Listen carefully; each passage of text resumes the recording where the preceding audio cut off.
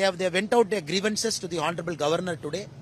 They said that they are feeling unsafe and same time they wanted the government to act on their request, giving a government job to the family of the deceased, giving a compensation to the to the deceased wife because they have got two small children to take care. And end of the day, the CM not opening his mouth and giving a small remorse also.